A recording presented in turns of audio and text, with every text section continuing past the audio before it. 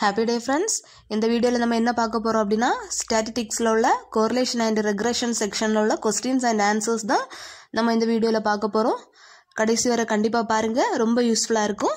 வாங்க நம்ம வீடியோக்குள்ளே போகலாம் If the change in the one variable is not related with the change in the other variable, then the variable is. இப்போ one variable change in the one variable is not related not related with the change in the other variable இருந்ததுன்னா இதோட options என்ன அப்படின்னு பார்க்கலாம் correlated uncorrelated rank positive and negative கோர்லேட்டட்னு கொடுத்துருக்காங்க இப்போது change in one variable is not related not ரிலேட்டடுன்னு வந்தால் என்ன வரும்னா அன்கோர்லேட்டட் தான் இதோட ஆன்சர் இப்போது கோரிலேட்டட்னா என்னன்னு பாருங்க. இப்போ ஒன் வேரியபிள் இஸ் ரிலேட்டட் டூன்னு வரும். ஓகேயா நாட் ரிலேட்டடுன்னு வந்து அன்கோரிலேட்டட் ரிலேட்டட் டூன்னு வந்துன்னா அதுதான் கோரிலேட்டட் ஓகேயா கோரிலேட்டடுக்கு வந்து என்ன வரும்னா change in one variable is related with the change in the other வேரியபிளாக இருந்துன்னா அதுதான் நம்ம கோர்லேட்டடுன்னு சொல்லுவோம். Change in one variable not ரிலேட்டடுன்னு வந்துன்னா அதை தான் நம்ம அன்கோரிலேட்டடுன்னு சொல்லுவோம். ஓகேயா இது ரெண்டையும் நீங்கள் கம்பைன் பண்ணி படிச்சீங்கன்னா கண்டிப்பாக உங்களுக்கு மறக்காமல் இருக்கும். ஓகே ஃப்ரெண்ட்ஸ் அடுத்த கொஸ்டின் பார்க்கலாம். If the increase in the value of one variable is associated with increase in the other if the increase in the one increase in the value of one one one வேரியபிளோட value increase அது same associated with increase in the other variable ரெண்டுமே இன்க்ரீஸாக வந்து அப்படின்னு நீங்கள் ஞாபகம் வச்சுருந்தா உங்களுக்கு ஈஸியாக இருக்கும் if the increase in the value of one variable is associated with increase in the other அப்படின்னா ஆப்ஷன் என்ன கொடுத்துருக்காங்கன்னா negative correlation positive correlation correlation rank correlation கொடுத்துருக்காங்க if the increase in the value of one variable is associated with increase in the அதர்னா ரெண்டுமே இன்க்ரீஸாக இருந்துன்னா அதோட answer என்ன அப்படின்னா பாசிட்டிவ் கோரிலேஷன் ஓகேயா இப்போ சேம் அஸ் த இப்போ if decrease if the decrease in the value of one variable is associated with decrease decrease in the அதராக இருந்தாலும் அதோட ஆன்சர் என்ன அப்படின்னா பாசிட்டிவ் கோரிலேஷன் இன்க்ரீஸ் வந்து இன்க்ரீஸ் ஆஃப் ஒன் வேரியபிள் வந்து as இங் associated with increase in the அதராக இருந்தாலும் if the decrease in the value of one variable is associated with decrease in the அதராக இருந்தாலும் option B தான் correct answer option B positive கோரிலேஷனோட definition தான் இது. ஓகேயா okay friends அடுத்த question பார்க்கலாம். If the increase in the value of one variable is associated with decrease in the other இப்போது increase in the value of one variable அது வந்து degrees இந்த அதராக இருந்ததுன்னா அதோட ஆப்ஷன் என்னன்னு கேட்டிருக்காங்க. If the increase in the value of one variable is associated with decrease in the அதராக இருந்தால் option என்ன? Negative correlation positive correlation correlation rank correlation கொடுத்துருக்காங்க.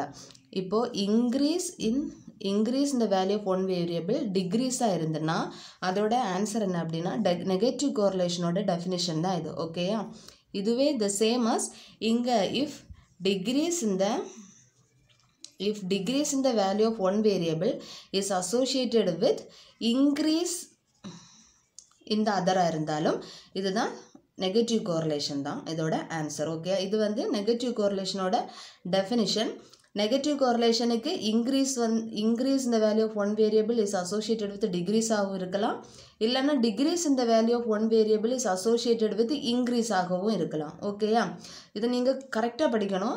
அடுத்து பாசிட்டிவ் கோரிலேஷன்னா எப்படி வரும்? Increase in the value of one variable அது same as the increase in the அதராக இருக்கும். இல்லைனா decrease in the value of one variable வந்து டிகிரிஸ் இந்த அதராக தான் இருக்கும். ஓகேயா இது ரெண்டையும் நீங்கள் கிளியராக படிச்சிருந்தா உங்களுக்கு மாட்டி மாட்டி கேட்டாலும் உங்களுக்கு ஈஸியாக இருக்கும்.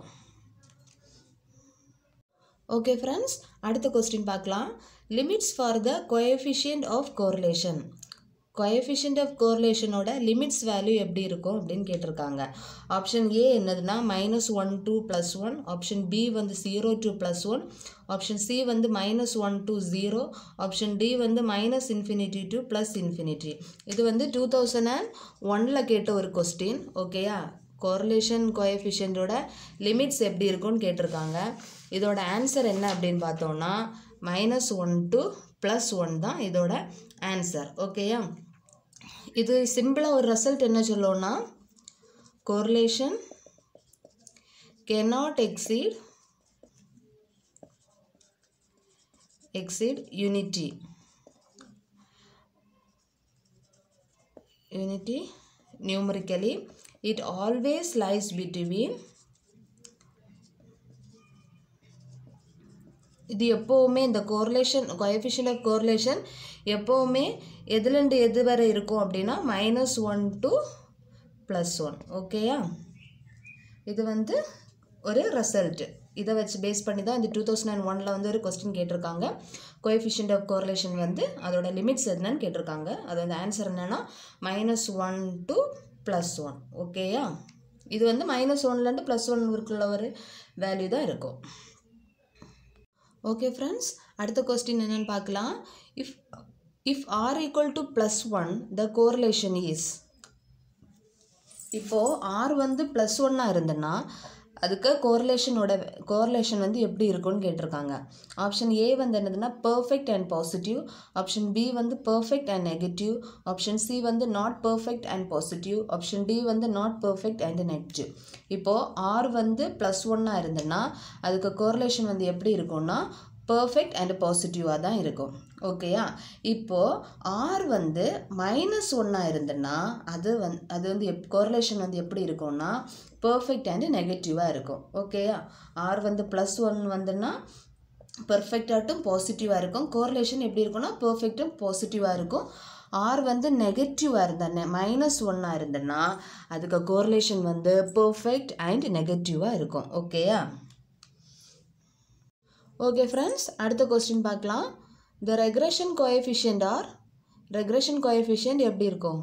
Option A depend on change of origin and scale option B independent on change of origin and scale option C depend on change of origin but not of scale option D independent on change of origin but not of scale இது வந்து previous இயரில் ஒருக்கே கேட்ட question two thousand and டுவெல்வில் கேட்ட ஒரு question ஓகேயா two thousand and டுவெல்வில் கேட்ட கொஸ்டின் ரிக்ரெஷன் கோஎஃபிஷியன்ட் எப்படி இருக்கும் அப்படின்னா ஆப்ஷன் டி தான் இதோட கரெக்ட் ஆன்சர் என்னது? Independent on change of origin and scale ஓகேயா independent on change of origin and origin but not of scale regression coefficient இப்படி இருக்கும் ஓகேயா இதுவே கொரலேஷன் கோஎஃபிஷியன்ட் எப்படி இருக்கும் அப்படின்னு பார்த்தோம்னா independent on change of origin and scale இது வந்து கோரிலேஷன் கோஎஃபிஷியன்ட் இது நீங்கள் இப்படி கம்பைன் பண்ணி படிச்சீங்கன்னா உங்களுக்கு மறக்காது. அதனால தான் நான் இப்படி ஒரு கொஸ்டின்ஸ் உங்களுக்கு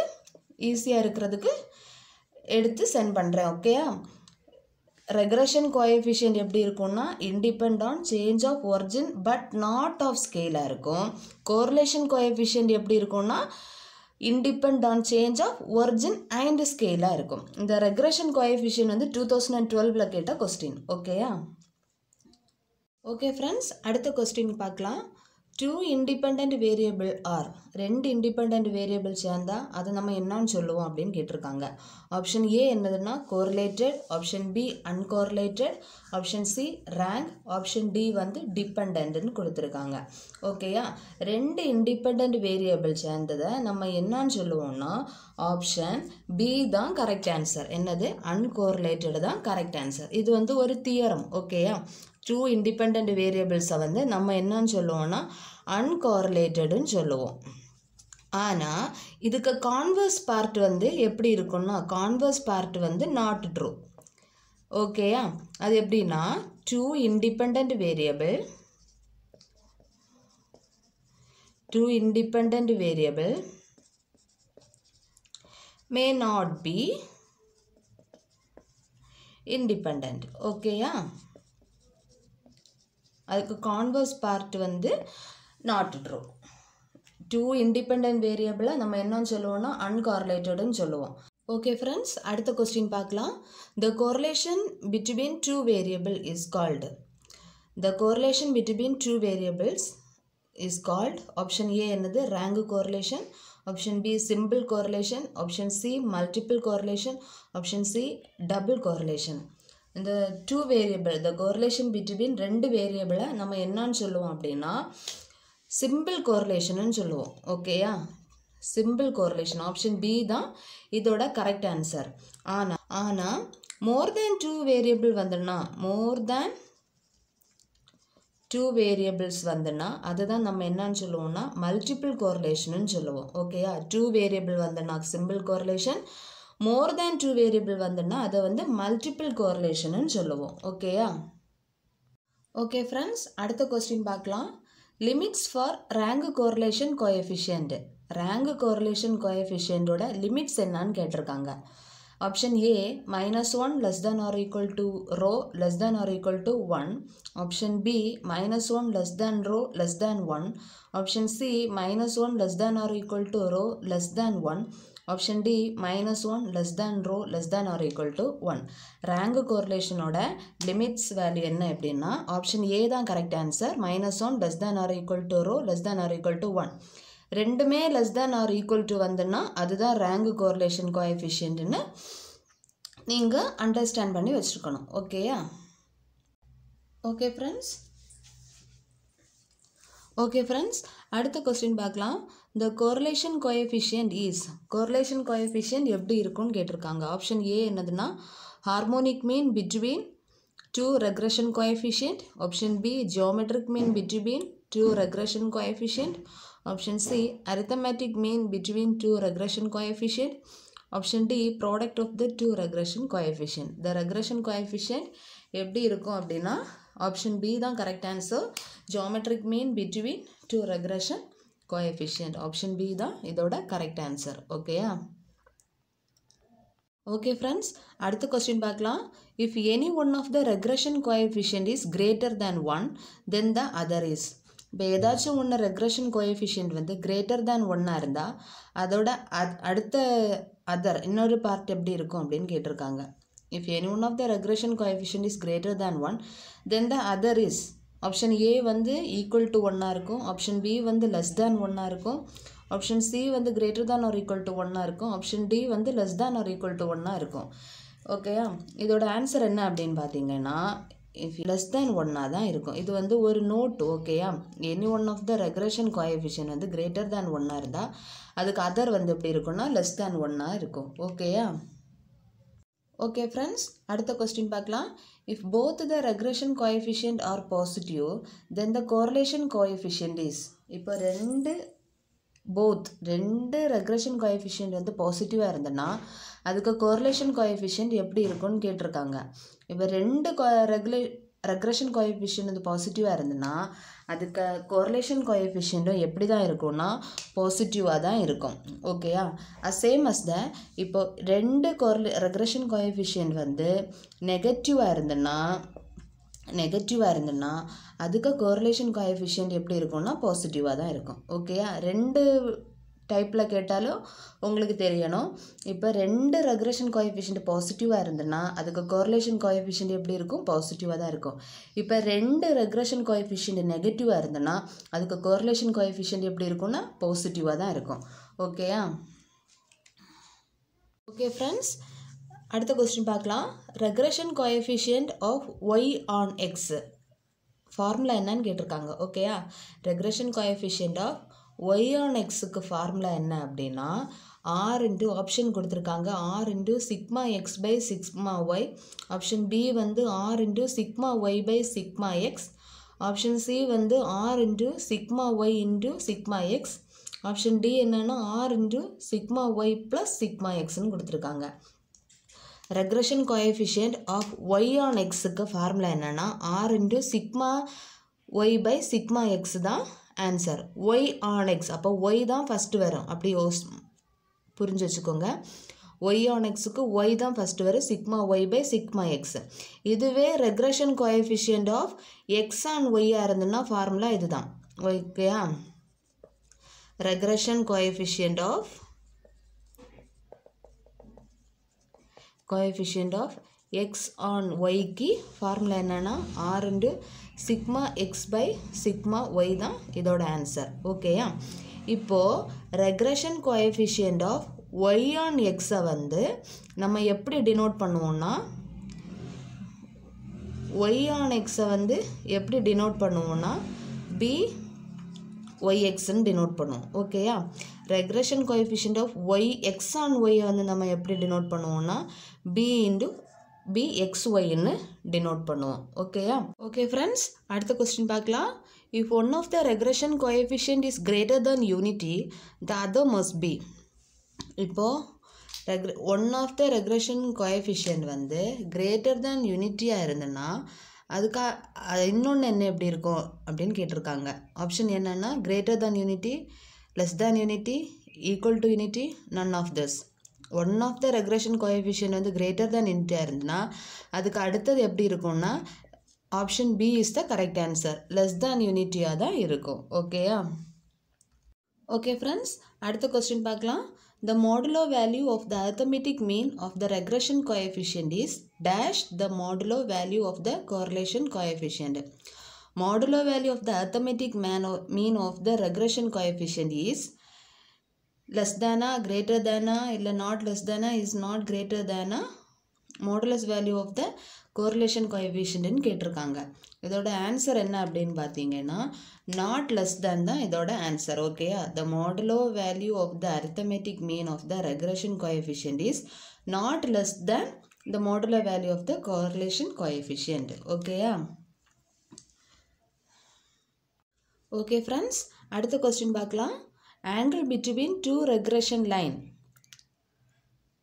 two regression லைனோட ஆங்கிள் கண்டுபிடிக்கிறதுக்குள்ள ஃபார்முலா என்னன்னு கேட்டிருக்காங்க. ஆப்ஷன் ஏ வந்து theta equal to tan inverse of r square minus one by r into sigma x sigma y by sigma x square minus sigma y square option B வந்து theta equal to tan inverse of sigma x into sigma y by sigma x square minus sigma y square option C வந்து theta equal to tan inverse of sigma x into sigma y option D வந்து tan inverse of r square minus one by r into sigma x into sigma y by sigma x square plus sigma y square angle between angle between two regression லைனோட formula என்ன அப்படின்னா option D தான் correct answer theta equal to tan inverse of r square minus one by r into sigma x sigma y by sigma x square இங்கே வந்து என்ன வரும்னா plus வரும் ஓகேயா minus வந்துன்னா தப்பு ப்ளஸ் தான் வரும். Sigma x square plus sigma y square தான் இதோட ஆன்சர் ஓகேயா இந்த வீடியோ உங்களுக்கு யூஸ்ஃபுல்லாக இருந்ததுன்னா கண்டிப்பாக லைக் பண்ணுங்கள் ஷேர் பண்ணுங்கள் உங்கள் ஃப்ரெண்ட்ஸ்கிட்டையும் சொல்லி சப்ஸ்கிரைப் பண்ண மறக்காதீங்க. தேங்க்யூ